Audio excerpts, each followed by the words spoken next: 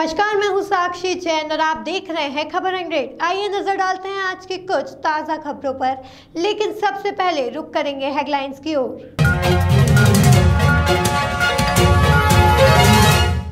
UP के कन्नौज में सड़क हादसे में छात्रा की मौत। सिरांज पालिका परिषद पर भ्रष्टाचार के लगे कई आरोप। इंदौर के आबकारी अधिकारी के दो ठिकानों पर लोकायुक्त का छापा।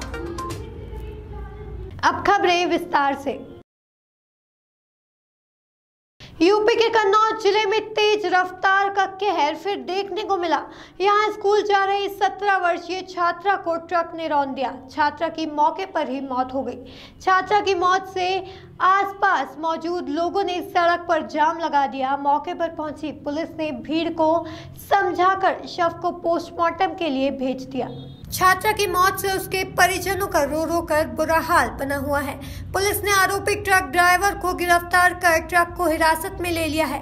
घटना गुरसहायगंज, कोतवाली इलाके के मलिकपुर, बहादुरपुर की है, जहाँ सुबह मृतक छात्रा स्वाति अपने स्कूल को जा रही थी। तभी फरुखाबाद ज़िले की ओर से आ रहे तेज रफ्तार ट्रक ने स्वाति को रोन दिया।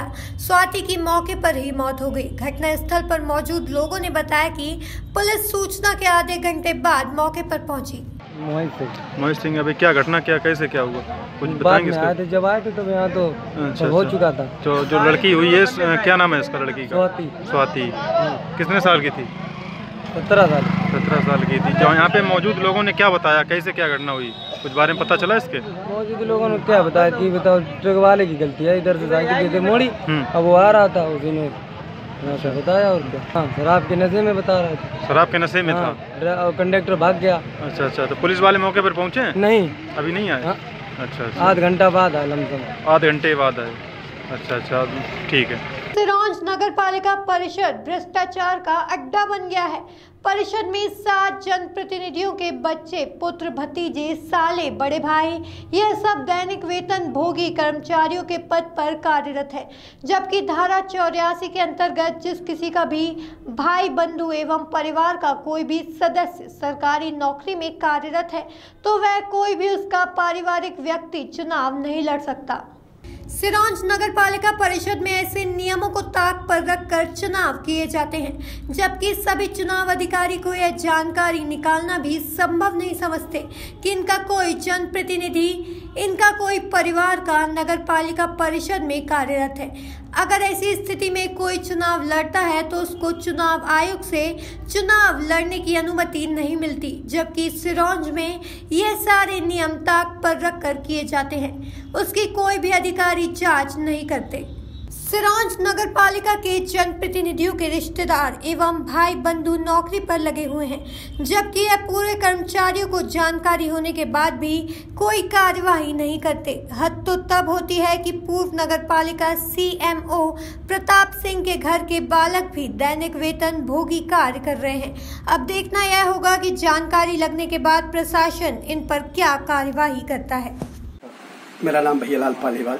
कहाँ के रहने वाले हैं? बाट नंबर 16 आपका पार्षद कौन है वहाँ पे? ये कोई महिला है। क्या नाम? आ, अंजनी तोषमणि है। है अच्छा उनके पति का क्या नाम है?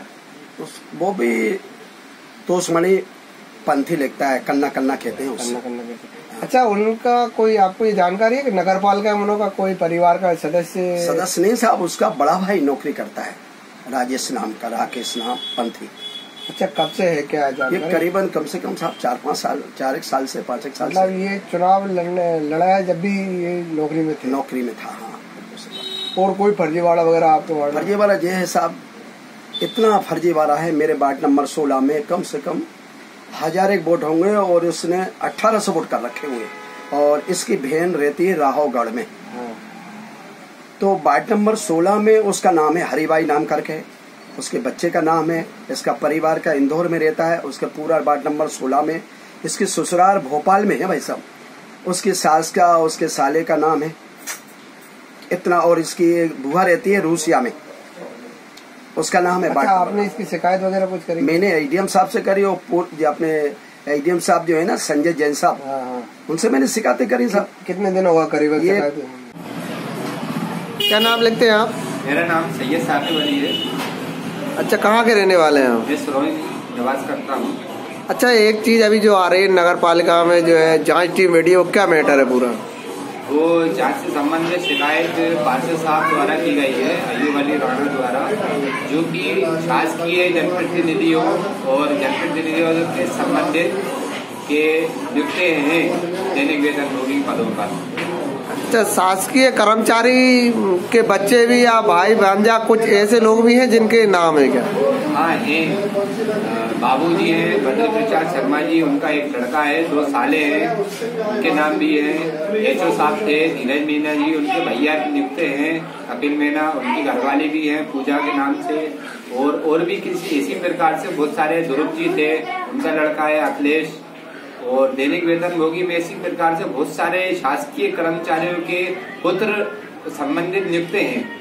अच्छा ये भी सुनने में आया कि जो पूर्व जो थे नगर पालिका सीओ उनका भी कोई लड़का वगैरह है? पूर्व सीओ जी थे प्रताप सिंह खेगर उनका लड़का नियुक्त है दैनिक वेतन भोगी से जो कि उनका नाम उपेंद्र वर्मा है और नगर पालिका एक्ट धारा चौरासी के अंतर्गत ये शासकीय कर्मचारियों के संबंधित संविदा नियोजन से नियुक्त करना अवैधानिक प्रक्रिया के अंतर्गत आते हैं। अच्छा अभी तक आपने शिकायत करी थी इसमें क्या निराकरण आया आपके सामने कुछ? मेरे द्वारा मंत्रालय में प्रमुख सचिव महोदय को शिकायत की गई है। शासकीय कर्मचारी और जनप्रतिनिधियों के संबंधित पार्षद अध्यक्ष महोदय के संबंधित की नियुक्तियाँ पूर्व से दैनिक वेतन भोगी के पदों पर की गई हैं। इससे संबंधित संयुक्त संचालक को भी मैं कल शिकायत करके आया हूँ। एसडीएम महोदय को कई बार शिकायत कर दी। एसडीएम महोदय इस ओर ध्यान नहीं देते और कहते हैं कि शिकायतों से क्या करोगे आप? आवेदन वापस ले और इससे संबंधित कोई कार्रवाई मत करो। एक तरफ़ तो भाजपा के कहते हैं कि हम जो है ना बेरोजगारों को रोज़गार देंगे और यहाँ पे देखने में आ रहा है कि भाजपा के ही जो जनप्रतिनिधि है उनके ही बच्चे कार्यरत हैं क्या? भाजपा के जितने भी अध्यक्ष जितने भी पार्षद रहे, उनका कार्य सिर्फ़ भाषण देना आता है वो भ्रष्टाचार करते हैं। अपने लोगों को भरने का, दैनिक वेतन भोगी पे नियुक्त करने का प्रावधान रचते हैं। चाहे वो जनभागीदारी कॉलेज हो या अन्य व्यवस्था, कई विभाग हो, मगर पार्षद और भाजपा के जितने भी सदस्य होते हैं, अपने लोगों को रखने का प्रयास करते हैं जनहित में इस ओर ध्यान नहीं देते। क्या नाम भैया राजेश सहले किस पद पर है आप? अभी मध्य प्रदेश कांग्रेस कमेटी सचिव। अच्छा एक अभी ये जो जनप्रतिनिधि है सरोज नगर पालिका में इन लोगों के बारे में क्या जानकारी है आपको? क्या घोटाला है? देखिए क्या है कि जब से नगर पालिका में ये बोर्ड बना है वर्तमान में जो बोर्ड है इसके द्वारा जो है अनेकों तरह की अनियमितताएँ हैं। चाहे सरोंज का जो सौंदर्यकरण के नाम पर तालाब का गहरीकरण का भ्रष्टाचार हो, वो किसी से छुपा नहीं हो, इसमें लाखों करोड़ों का भ्रष्टाचार है। इसके बाद में यदि हम बात करें, वैसे भी जो नगर पालिका में जनप्रतिनिधि, जो जनता के द्वारा चुन के जाता है, वे अपने किसी भी रिश्तेदार या किसी भी परिवार के व्यक्ति को सरकारी लाभ का कोई भी उसे फ़ायदा नहीं दे सकता। लेकिन इस नगर पालिका में ये देखने को आया है कि कुछ जनप्रतिनिधियों के परिवार के भाई हों, भतीजे हों, जो कहीं ना कहीं दैनिक वेतन भोगी के पद पर नियुक्त किए गए हैं, ये सरासर गलत है। एक चीज़ और है कि शासकीय कर्मचारी जो नगर पालिका सीएमओ प्रताप सिंह खेंगर थे उनका भी सुनने में आया था उनका भी कोई बालक हाँ ऐसा चर्चा में था नगर में कि जो इससे पूर्व में जो खेंगर सीएमओ रहे हैं उनके बेटे को भी दैनिक वेतन पे ही नियुक्त किया गया था। उसका वेतन भी श्रवण नगर पालिका से जो है आना होता था। ठीक है। क्या नाम है आपका? मेरा नाम विजय श्रीवास्तव। किस पद पर कार्यरत है? नगर पालिका अच्छा जो नगर अय्यूब अली राणा जो पूर्व पार्षद है, उसके बाद में एक शिकायत सा आवेदन आया है, जो जनप्रतिनिधियों के, बच्चों के बारे में है, जो नगर पालिका में कार्यरत है उसके बारे में क्या है कलेक्टर महोदय के निर्देश अनुसार एसडीएम महोदय श्रवण द्वारा एक जाँच दल गठित किया गया है, तीन सदस्यों का।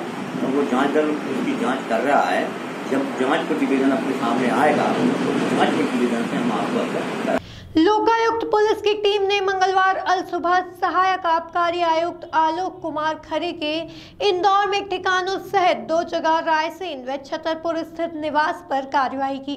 छतरपुर में आलोक खरे के पिता लालजी खरे रहते हैं। भोपाल लोकायुक्त के निर्देश पर सागर लोकायुक्त की टीम छतरपुर में कार्यवाही कर रही है। लोकायुक्त डीएसपी नवीन अवस्थी का कहना है कि ये प्रदेश की सबसे बड़ी कार्यवाही निकल सकती है। वहीं इंदौर में कार्यवाही करने के लिए इंदौर लोकायुक्त टीम की मदद ली गई है। जानकारी के मुताबिक इंदौर के ग्रैंड एक्सोटिका सहित एक अन्य स्थान पर जब टीम पहुँची तो उन्हें ताला मिला। बताया जा रहा है कि खरे के खिलाफ आय से अधिक संपत्ति होने की शिकायत मिली थी, जिस पर लोकायुक्त पुलिस ने यह एक्शन लिया है। यह बात भी सामने आ रही है कि खरे की पत्नी रायसेन में फलों की खेती कर रही है और वे पत्नी के नाम से ही इनकम टैक्स रिटर्न फ़ाइल कर रहे थे। इंदौर के सहायक आबकारी आयुक्त नरेश चौबे के ट्रांसफ़र के बाद भोपाल से सहायक आबकारी आयुक्त आलोक खरे को इंदौर सहायक आबकारी आयुक्त की ज़िम्मेदारी दी गई थी। इंदौर में उनका एक बंगला और एक फ्लैट है। लोकायुक्त की टीम जहाँ पहुँची थी, दोनों ही जगह ताले लगे मिले। अलग अलग जगहों पर लोकायुक्त पुलिस जाँच कर रही है। इसके बाद ही साफ़ हो पाएगा कि खरे के ठिकानों से उन्हें क्या मिला। जहाँ जहाँ भी टीम पहुँची है, वहाँ खरे के बड़े बड़े बंगले बने हुए हैं। जानकारी के मुताबिक लोकायुक्त पुलिस की 19 लोगों की टीम रायसेन में खरे के फार्म हाउस पर कार्यवाही कर रही है। रायसेन में उनकी छप्पन एकड़ की ज़मीन, दो जगह आलीशान फार्म हाउस भी मिले हैं। खरे की पत्नी के नाम भी करोड़ों रुपए की बेनामी संपत्ति होने की बात सामने आ रही है। यहाँ चौपड़ा मोहल्ला और डाबर इमलिया में एक साथ कार्यवाही जारी है। Role role. सर किस तरह की कार्रवाई इंदौर में अभी जारी लोकायुक्त संगठन भोपाल पुलिस को ये शिकायत प्राप्त हुई थी कि श्री आलोक खरे सहायक आयुक्त इंदौर जो है इनके द्वारा भ्रष्टाचरण करके अवैध संपत्ति अर्जित की गई है। शिकायत का सत्यापन किया गया। सत्यापन पर प्रथम दृष्टया सही पाए जाने पर इनके विरुद्ध एफआईआर ज़ीरो ऑब्लिक दो हज़ार उन्नीस, धारा तेरह एक बी, तेरह दो, धारा बारह, भ्रष्टाचार निवारण अधिनियम 120 बी, भारतीय दंड विधान के अंतर्गत प्राथमिकी दर्ज की गई।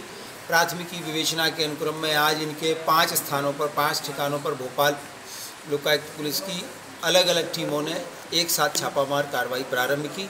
इनके छतरपुर स्थित पैतृक निवास पर, इनके भोपाल निवास पर इंदौर में, इंदौर ऑफ़िस में और रायसेन में इनके जो दो फार्म हाउस हैं, वहाँ पर एक साथ ये छापामार कार्रवाई की है। हमारी टीमें अवैध संपत्ति से संबंधित दस्तावेज़ नकदी कैश और जो भी वैल्यूएबल्स हैं, उनके बारे में सर्च कर रही है। लास्ट स्थिति, जब सारी टीमें एक साथ कार्रवाई पूरी हो जाएगी, तब बताना संभव होगा।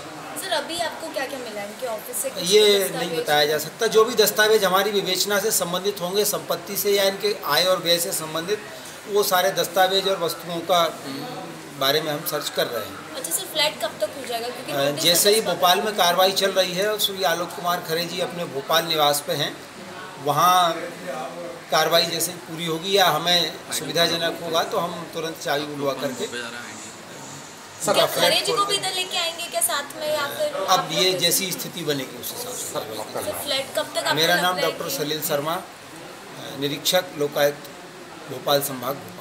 सर, इसमें ये भी एक बात निकल कर मध्य प्रदेश के मुख्यमंत्री कमलनाथ का 14 अक्टूबर को नरसिंहपुर में कार्यक्रम रहा, जिससे ज़िले में राजनीतिक सरगर्मी बढ़ गई है, जिसके बाद बीजेपी ने सभा स्थल से थोड़ी ही दूर कमलनाथ की सद्बुद्धि के लिए यज्ञ किया। इस दौरान बीजेपी सांसद राव उदय प्रताप सिंह, विधायक जालम सिंह और बड़ी संख्या में बीजेपी कार्यकर्ता मौजूद रहे। बीजेपी नेताओं ने सभा को संबोधित करते हुए कमलनाथ सरकार को जमकर घेरा। सांसद राव उदय प्रताप ने कहा कि किसानों का कर्ज माफ़ किया नहीं, बेरोजगारों को भत्ता दिया नहीं, किसान और सभी वर्ग परेशान हैं। अब कुछ नहीं हो सकता। भगवान से प्रार्थना है कि इनको सद्बुद्धि दे। नरसिंहपुर विधायक जालम सिंह ने कहा, भ्रष्टाचार, अत्याचार ज़िले में हो रहे हैं। कांग्रेस प्रोटोकॉल का पालन नहीं कर रही। मैं विधायक हूँ, मेरा नाम कार्ड में नहीं है। वहीं कांग्रेस के विधायक संजय शर्मा ने बीजेपी पर पलटवार करते हुए कहा कि सद्बुद्धि यज्ञ खुद के लिए कर लेते तो अच्छा था। भाजपा इतना बड़ा दल है, देश में लहर चली, लेकिन प्रदेश में इनके कारण कुछ नहीं हुआ। खुद की बुद्धि सुधारे। कमलनाथ जी इतने पुराने नेता हैं जितनी इनकी उम्र है। वहीं कमलनाथ सरकार की तारीफ़ भी की। लेकिन फ़र्क इतना पड़ जाता है जा रहे हैं और कमलनाथ जी हो है सद्बुद्धि आ जाए। और मैं ऐसा मानता हूँ कि उनका जो ख्याल कोई प्रदेश में दोहराने का काम कर रहे हैं। हवाला कांड के मुख्य आरोपी वो रहे हैं। और उनके नाक के नीचे भ्रष्टाचार हो रहा है। ट्रांसफ़र उद्योग हो रहा है गाँव गाँव शराब सट्टा बिक रहा है। हमारे ज़िले में जो ज़िले की नाक जनपद मैदान जब मकान, जहाँ दुकानें बनने थी, वहाँ सटोरियों को और शराब, माफिया और सिंडिकेट को उन्होंने पैसे लेके दुकानें दे दी। और अनेक प्रकार के भ्रष्टाचार ज़िले में हो रहे हैं, अत्याचार ज़िले में हो रहे हैं। पुलिस के, पुलिस ने पैसे लेके दो लोगों को लोगों के यहाँ लोगों को मार दिया। इस प्रकार के मतलब बेग बेलगाम प्रशासन हो गया है। और मैं ऐसा मानता हूँ कि मुख्यमंत्री को कोई दूसरी तो लेना देना नहीं है। और विधायकों को मंत्रियों को छूट दे के रखे हैं। और प्रोटोकॉल का उल्लंघन यहाँ कर रहे हैं। जितने भी भारतीय जनता पार्टी के समय जो निर्माण कार्य हुए हैं। तो इसमें जो यहाँ माननीय सांसद उनको नहीं बुलाया विधायक को नहीं बुलाया मुझे खुद मेरी विधानसभा में कार्यक्रम हो रहा है। नगर पाल प्रथम नगर पालिका अध्यक्ष जनपद अध्यक्ष, जिला पंचायत सदस्यों के नाम नहीं है, जिला पंचायत उपाध्यक्ष का नाम नहीं है। सरकार से मैं समानता हूँ खासकर युवा युवा क्या संदेश देना चाहते हैं। ऐसा मुझे लोकतंत्र की हत्या करने का जो जिम्मा और ठेका है कांग्रेस ने उठा लिया। हमेशा से गलत काम करती आई है कहीं से कहीं कोई नियम कानून चलती नहीं है। नियम को तो कानून को धत्ता बता रहे हैं। और उसके सदबुद्ध के सदबुद्धि सदबुद्धि इसके माध्यम से उनका समझ उनको सदबुद्धि है जैसे आ तो नहीं शक्ति लगता तो नहीं है उनकी कोई सदबुद्धि। मगर प्रयास है। दूसरी तरफ़ एक उदाहरण और है। जबलपुर में संस्कृति विभाग से कार्यक्रम हो रहा है। माननीय कल चौदह तारीख को राज्यपाल जी आ रहे हैं। उनके मुख्य अतिथि हैं उसमें कांग्रेस के वहाँ के लखन गंगोरिया को बुलाया विवेक तनखा को बुलाया, माननीय हमारे सांसद हैं, फग्गन सिंह कुलस्ते काफ़ी सारे लोगों को उसको बुलाया गया, पत्र, बाकायदा कार्ड में नाम दिए गए। मगर दूसरी तरफ़ कांग्रेस है, जिसको संस्कृति से और संस्कारों से कोई लेना देना नहीं। ये अंतर भाजपा, मैं डीएनए को मानता हूँ, डीएनए में कुछ गड़बड़ है। डीएनए टेस्ट होना चाहिए। किया गया है। राहुल गांधी ने कैसे आज बताता हूँ आपको। धरना प्रदर्शन और यज्ञ सदबुद्धि यज्ञ ये प्रदेश की सरकार के लिए भी है प्रशासन के लिए भी है और जो व्यवस्था के संचालक उनके लिए। कि जो चीज़ें पहले कही गई हैं उनको करने का काम करें। आपने कहा कि कर्ज माफ़ करेंगे किया नहीं। आपने बेरोजगारी भत्ते की बात करी की नहीं। आपने स्वसहायता समूह की बात करी करी नहीं। किसान परेशान है। किसान परेशान है।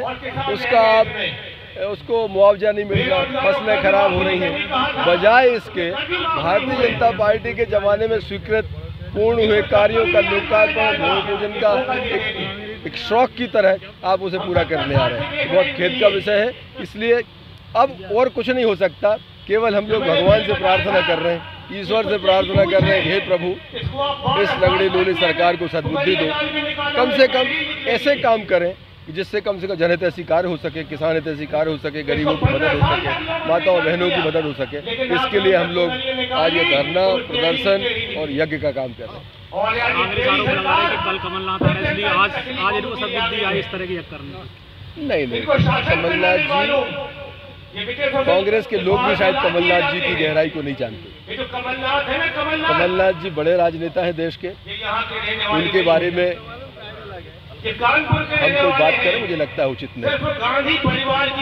लेकिन ये कांग्रेस के लोग जो माननीय कमलनाथ जी की आड़ में अपनी रोटी सेकना चाहते हैं, मैं उनसे कहना चाहता हूँ कि जनता सब जान चुकी है। अगली बार तैयार रहें नरसिंहपुर ज़िले में चार शून्य के लिए। यहाँ पर, यहाँ की जनता इतना बड़ा परिणाम देने वाली है तो लोगों का एक वर्ष में जो दुख, लोगों की कुंठा, लोगों की तकलीफ़ जो निकल के आ रही है, वो अविस्मरणीय है। उसका मुकाबला कांग्रेस पार्टी नहीं कर सकती इस ज़िले में। आगे आने वाला समय बताएगा इस वर्ष अत्याधिक वर्षा होने के कारण इस बार रबी सीज़न अक्टूबर के बजाय नवंबर से शुरू होगा। किसानों को सिंचाई के लिए अक्टूबर के आखिरी या नवंबर के पहले सप्ताह में सिंचाई की आवश्यकता लगेगी। इसी कड़ी में बिजली विभाग में इसके लिए चाक चौबंद व्यवस्था की गई है।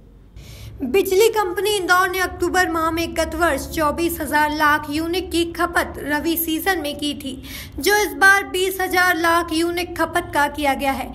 इसके पीछे यह तर्क दिया जा रहा है कि इस बार अत्यधिक वर्षा के कारण रवि सीज़न तकरीबन एक माह की देरी से शुरू होगा। जो काम अक्टूबर में शुरू होता था, वह नवंबर में शुरू होगा, जिससे बिजली की आवश्यकता भी नवंबर में अट्ठाईस हज़ार लाख यूनिट रहेगी।